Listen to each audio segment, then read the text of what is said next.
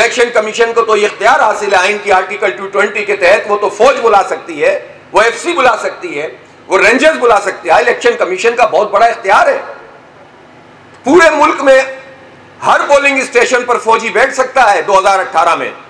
लेकिन कराची में बल्दियाती इलेक्शन के लिए फौज या रेंजर्स बाहर खड़ी नहीं हो सकती। तो ये किसका कसूर है? इलेक्शन कमीशन से हम कहना चाहते हैं कि जो इख्तियार आइन ने उनको दिया है आवाम के लिए और शहर के लिए, वो उस इख्तियार को बुरुकार लाएँ और इलेक्शन का अनाउंसमेंट करें और हतमी तौर पर तारीख फिक्स करें और इनको भागने नहीं दें।